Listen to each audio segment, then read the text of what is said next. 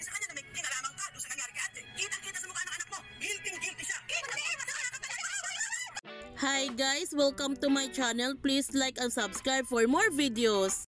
Tinawagan ni Moira si Joy para tanungin kung kasama ba niya si Zoe. Ang sagot ni Joy, hindi niya kasama si Zoe. Nandoon siya kaya nalin sa bahay nila. Sobrang nagulat si Moira at kung bakit nandoon ang kanyang anak sa lungga ng mga ahas. Kaya agad niyang pinuntahan si Zoe para sunduin na niya ito.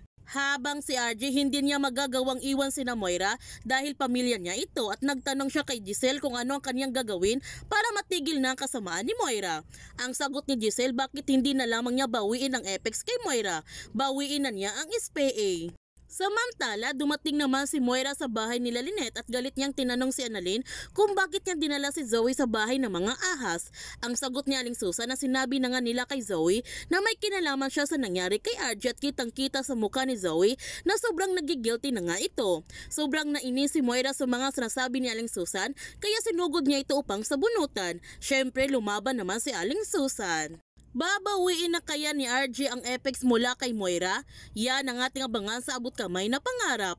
Kung bago ka pa channel ko, don't forget to like, subscribe, ang click notification bell para palagi kang updated sa mga videos upload ko. Thank you for watching and God bless everyone!